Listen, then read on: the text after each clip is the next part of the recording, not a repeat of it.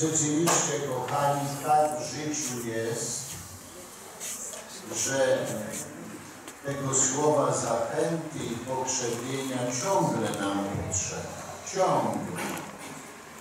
I nie ma takich sytuacji w życiu ludzkim, ani takich ludzi, którzy by tego słowa zachęty i pokrzepienia nie potrzebowali. Bo nam się zazwyczaj to kojarzy, że jak przychodzi jakiś stan chwilowej biedy czy potrzeby, to wtedy jesteśmy no, najbardziej nieszczęśliwi i potrzebujemy tego wsparcia. Sami doskonale wiecie, jak to w życiu bywa i jak różni ludzie układają sobie życie.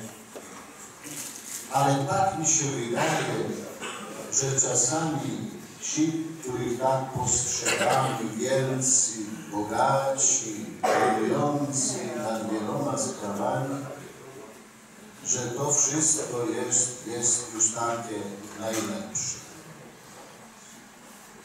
A czasami oni najbardziej potrzebują pomocy, ponieważ nasze życie nie ogranicza się do tych kilkudziesięciu lat tutaj na ziemi, tylko trzeba na to wszystko patrzeć w perspektywie wieczności.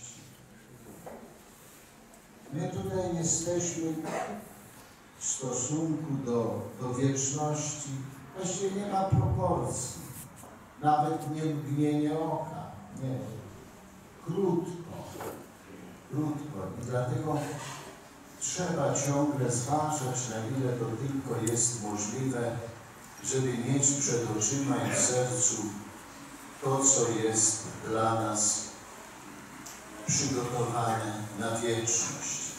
I starać się zrozumieć. A pomaga nam w tym Pan Jezus, który przyszedł na świat i o tym więcej mówiliśmy z okazji Bożego Narodzenia, kiedy tutaj byliśmy na Wigilii, żeby nam powiedzieć, jak to wszystko jest.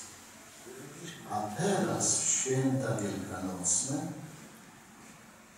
pokazuje nam, co dla nas uczynił, żeby się to stało realne.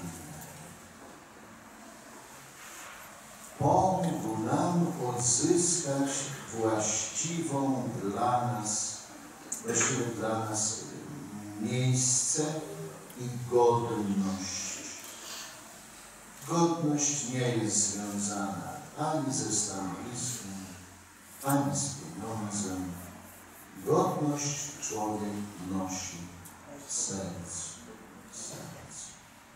I dlatego te święta to są wielkim dziękczynieniem za to, że Zbawiciel przywrócił nam należne miejsce i godność i starajmy się tak kształtować i tak pracować z Panem Jezusem zmartwychwstałym, abyśmy też mogli to życie zakończyć zwycięsko. To znaczy, kiedy przyjdzie nam się spotkać z Panem Jezusem już po naszych tutaj wędrówkach ziemskich, żeby On powiedział, dziś jest, będziesz ze mną w raju.